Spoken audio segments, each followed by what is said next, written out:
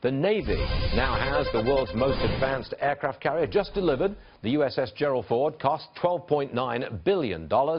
We talked about this with Budget Director Mick Mulvaney. We talked about President Trump's plans for the military within the budget. Roll tape. I think it, it isn't enough to accomplish everything that the president said, but again, it's just the first year. We've laid out, a, or in the process of laying out a new strategic plan and how to grow the military in order to conform with the president's promises. You can't do that. It's physically not possible to do that all in one year. Van Hipp joins us. He's the chair of American Defense International. Van, I'll get to the aircraft carrier in a second. I want to talk about how big an increase we get in military spending. General Jack Keane, four-star retired general, retired, says is not enough. We need a lot more than the president has budgeted for. What say you?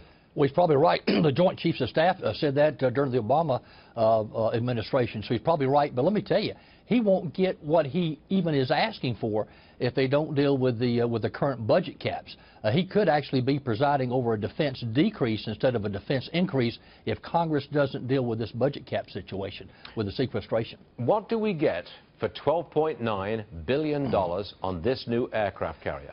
Well, there's a reason why the Chinese are going all out to get this kind of capability. An advanced aircraft carrier is what, what really sets us apart uh, from the rest of the world militarily. And so uh, uh, I looked at this, and I looked at these cost issues. This, this aircraft will let us fly like one-third more missions, and actually in the end I think it's going to save us money, and I'll tell you why. The technology it's using, this is a big story, reduces the wear and tear on the aircraft. The yearly cost, what's really costing the taxpayers a fortune, are these uh, uh, operation and maintenance costs, O&M costs throughout the Defense Department. Uh, from everything I've seen, the O&M cost, once this is operational, will actually come down. That's a good thing for taxpayers long term. However, 2.4 billion overrun on cost on the initial delivery. That's not good. Look at how the president, though, handled the F-135 situation. That was great. If we could, he can't be involved in every one of these cost overrun issues, Stuart. But I've said this before, if we could put the mechanism in place that accomplishes that, you had the OMB director, Mick Mulvaney, on earlier. I'd like to see the service secretaries meet with the OMB director every year where they go through things like this before the president's budget is released. I'd like to see contractors incentivized to come in under budget and ahead of schedule. We've got to do things like that to give the taxpayers best value and give our military what they need. Change of subject, Van, because I think this is a very important story. I'm talking about the unmasking of members of President Trump's campaign team. Moments ago, Senator Lindsey Graham said he thinks he was unmasked by the Obama administration. Roll tape.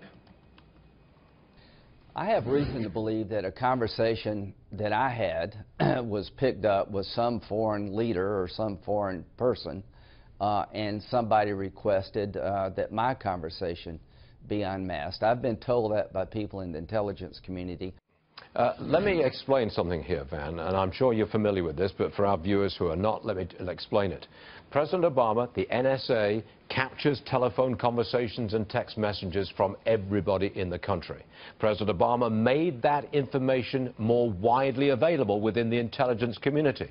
Susan Rice and some other members of the administration came along and reportedly asked for the names of people who were in those secret recordings by the NSA. That is unmasking.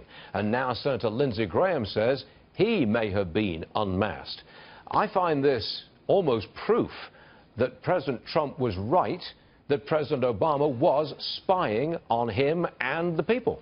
This is the big story, Stuart, and I think the House Intelligence Committee may have the smoking gun. Go back to March when Devin Nunes first told us about the possibility that the Obama administration was using this foreign surveillance of foreign targets as a ruse to spy on President Trump uh, and his folks. Go back to that. Don't forget, right after that, the NSA delivered a lot of documents to the House Intelligence Committee.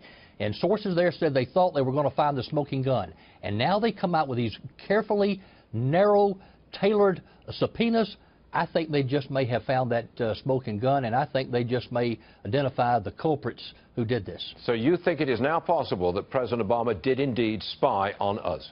Oh, I think it's very possible, and also, but also, and not only that, but how it. about the leaks? How about the leaks? Right, mm. and use the information. The right. Van Hipp, good stuff. Thanks for joining Thank us, you. sir. We'll see you again soon. Thank you.